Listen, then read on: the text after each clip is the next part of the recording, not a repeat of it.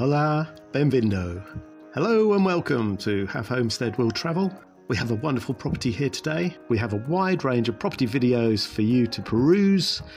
Check out the playlist from land to villas, the mansions to tiny homes. Most are in central Portugal, but some are in France, Spain, and even the UK. And hey, a massive thanks to Kelly and Brock for buying us some coffees. Much appreciated. And good luck with your move to Portugal. You'll love it. Good morning! So today we've got an incredible piece of land, just just shy of two hectares, sold by uh, Amindo. So contact him at the Penamacor office in um, of Remax, and he'll give you any answers that you need. Anyway, uh, it's on for sale for eighty-two thousand. It's got lots of fruit trees, olive trees, but it's also got an urban construction for re recuperation. So this could be something that you could actually legally live in and uh, restore and make it your own. So that's what makes this an exciting property because there's plenty of land, but also you've got this urban uh, license on the building. Also, you're very close to um, Penamacor, Idanha-a-Nova, which are two big you know, towns which have got all the facilities you need. But then there's also Castelo Branco that isn't that far away as well. As you can see, the Vista area here, it's got some nice wild areas that obviously could be open to cultivation. Very pretty. And the views are rather spectacular.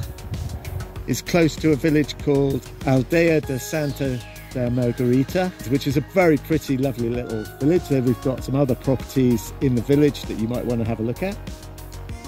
There's fantastic views of the Gardunha Mountains out towards Fundão and Alpedrinha. So let's go and have a look on it. Check out the building. Oh, look at this. Big tree, lemon trees,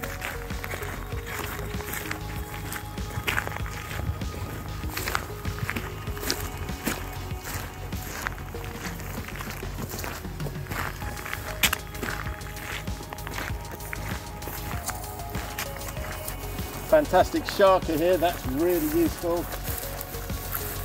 Charca is like a lake, a small pond, or a big pond, small lake, uh, which means you've got plenty of water. This is going to be an amazing asset when it gets hot here. So you've got the water here. Great habitat for, for animals too, for wildlife. So then you've got a whole bunch of olive trees, they're going to be producing plenty of olives. Got lots of lovely vines here. Orange and lemon trees. So the olive trees and the vines just need a little bit of attention, but they'll be back into full production with a little bit of work. And then I can see the buildings. My God, they're looking very pretty over there. What a pretty area, all those big trees. Wow, that's nice.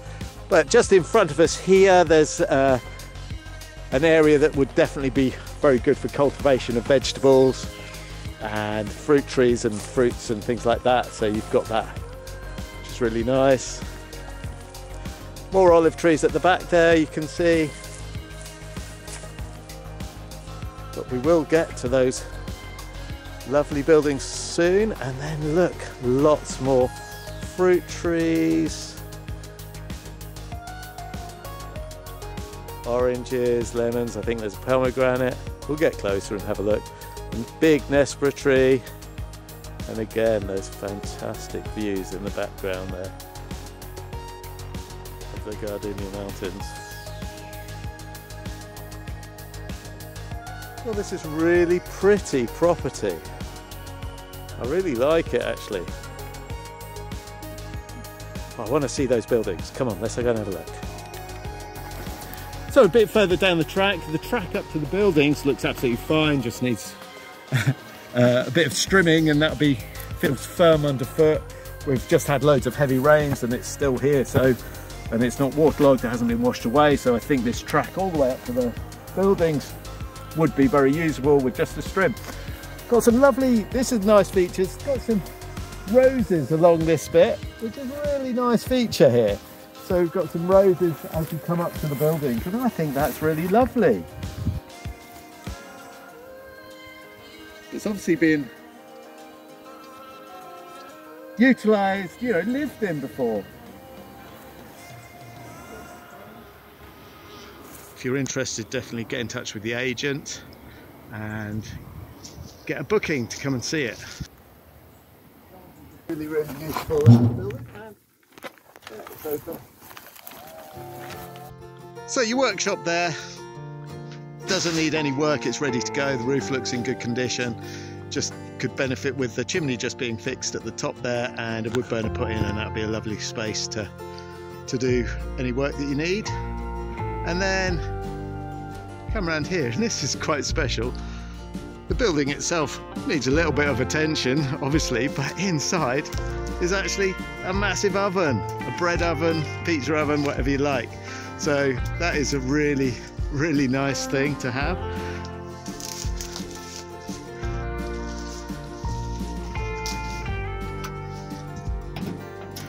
There we go, we have a bread oven.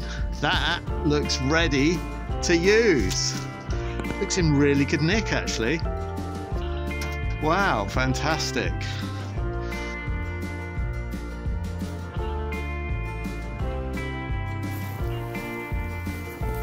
So I like this area. You've got quite a lot of uh, trees to, to make it sheltered from any storms or winds that you sometimes get in this area.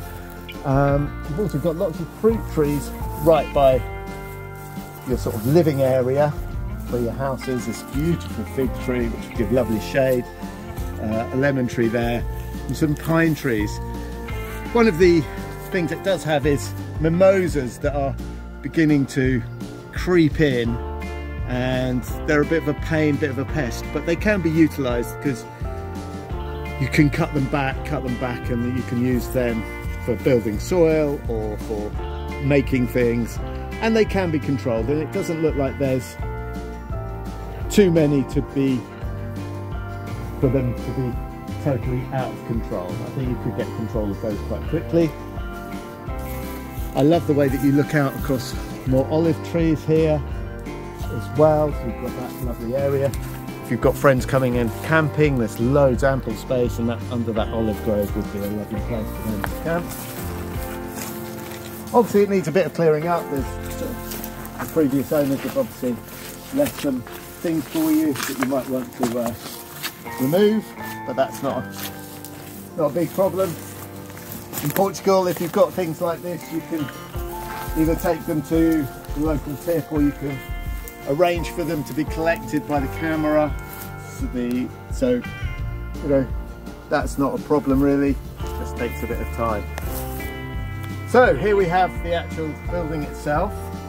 This has a an urban license. So if you want to uh, live here permanently then there's a good chance you will be able to. Obviously talk to the local câmara uh, the local council about any permissions that you want to check and make sure that you've uh, obviously done all your research that you need to do. It's a really nice, strong, proper granite building with great potential for renovation.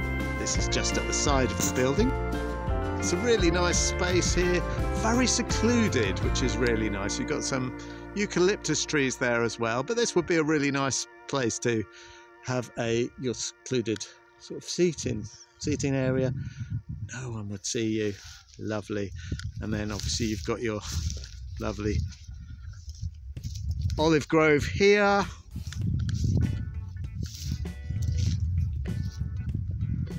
So as I say, you could clear these mimosas that are here. This is just at the back of the house. Uh, lovely area actually. You've got this beautiful absolutely fabulous pine tree here that would give you shade in the summer. So this is a nice area. There's some lovely rocks there, boulders you could make a feature of and then come down here and this is what I like.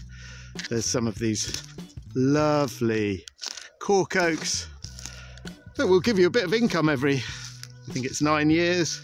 They can be re-stripped. This one's been stripped reasonably recently, um, but I think more importantly than that is they're just beautiful trees, incredible habitats for wildlife, and they give you a lovely area of shade. So this this little spot here would be a lovely seating area, a lovely place to hang out in the hot summer. You could uh, definitely find a cool place to be just there. And then we come down, we're coming down from the top, so the, the buildings are near the top of the land and then you come down this side. And we've got some more indigenous oak trees and pine a pine tree and some more smaller coat uh, uh, oak trees. And then we come back to your well. And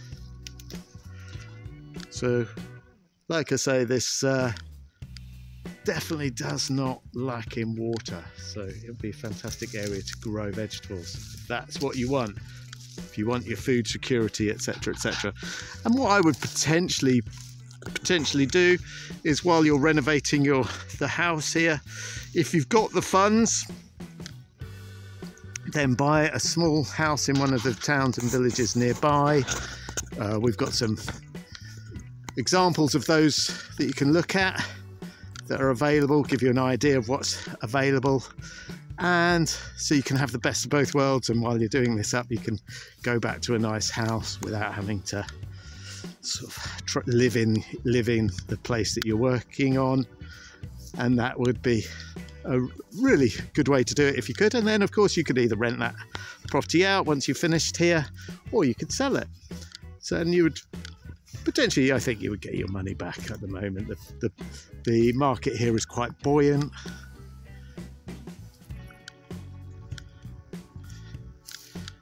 And then we're, you know, a minute's walk from the house and we come to this really, really lovely sort of terrace with lots and lots very jealous of this lots and lots of orange trees and lemon trees and lime trees and pomegranate trees and other trees, fig trees, olive trees.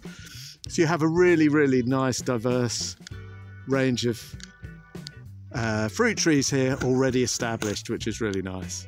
You actually can walk into the village, and the village is a beautiful village, very friendly. We've filmed a few houses in the village, and oh, we got chatting to some of the locals, and they're all really friendly and lovely.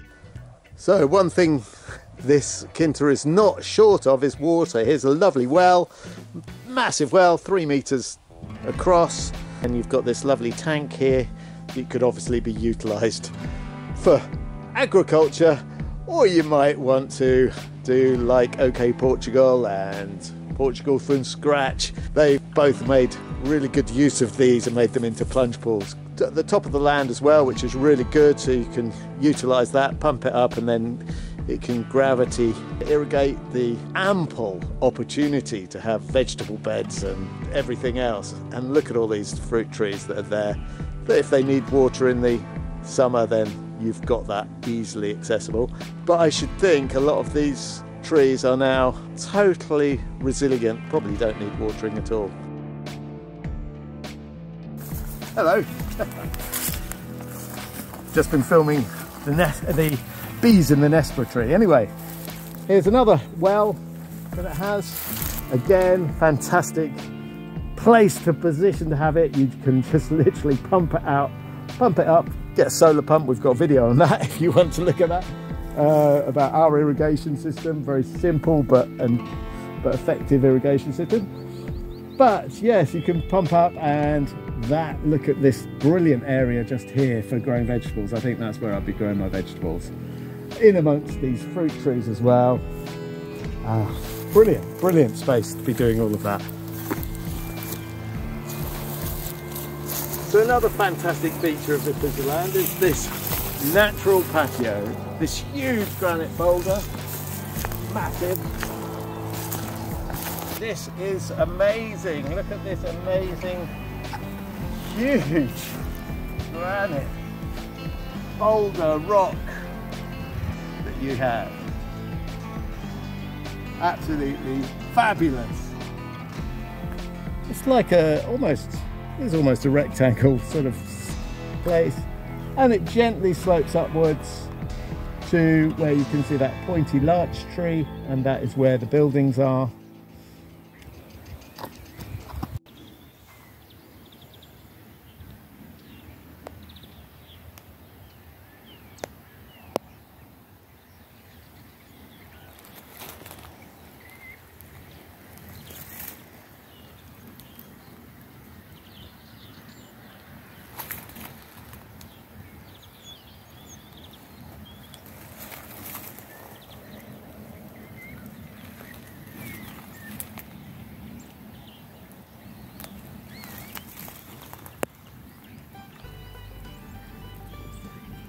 So this track leads up to the house. This one, however, is lovely because this leads you to this orange grove and where all the fruit trees are and where the massive boulder is as well. And so, yeah, so it's really well planned out, well thought out uh, piece of land this, I think, because, you know, you've got your lovely specific areas here. Like there you've got your orange and fruit grove. Here you've got your uh, one of your olive groves. And then just here you have some really lovely vines. And so it's been really planned out you know uh, whoever set this up knew exactly what they they were doing. And so you've got this all this sort of formal stuff ready to go, you know, to have this lovely great uh, grapevine area here is brilliant. And like I say, all e easily accessible. And then you've got your house just up there, another olive grove there.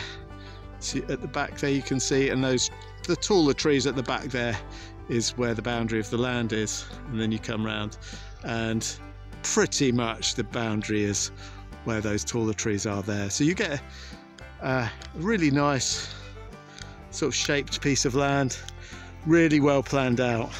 So you haven't got to worry about all of that stuff. You know, that's all been all done for you. It's just about renovating the vines, getting all of these trees back in their full production. And also got some lovely lavender wild lavender dotted around, which is nice. And you've got lots of nature coming back into here that you could control or encourage at your whim. So, really, really good, well sorted piece of land ready to be made into your perfect home.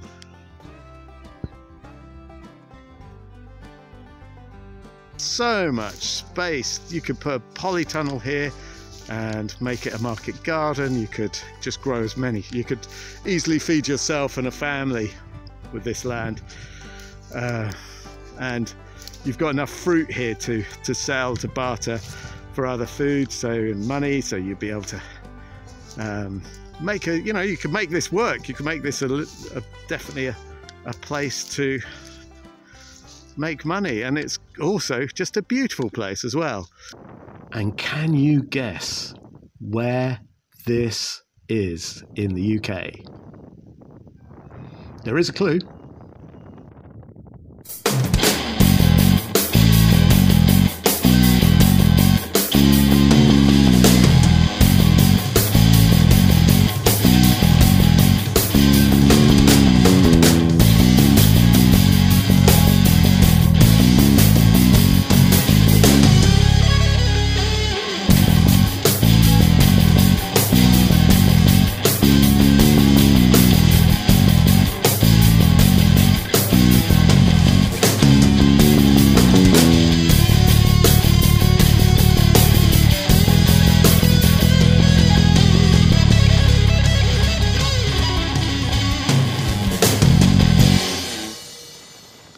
Wide range of property videos for you to peruse.